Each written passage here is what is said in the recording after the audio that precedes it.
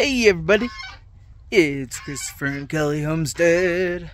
How you doing? We're doing great. We hope you're doing great. Well, so one of our hatched roosters is uh, mature now, so and he's kind of pecking with the other rooster. So we're gonna give him to a friend. But here he is. So beautiful.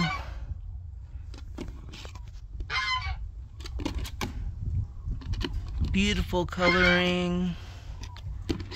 Like an iridescent.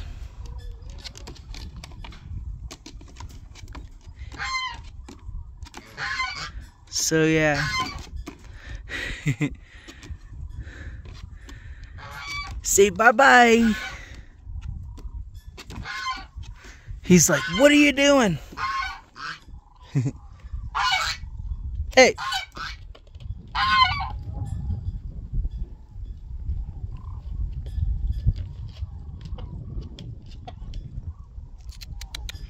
It's okay.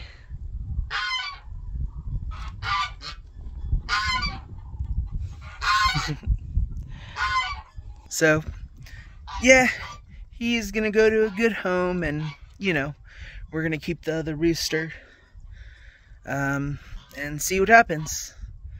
So, that's it. Live life to the fullest. Bye.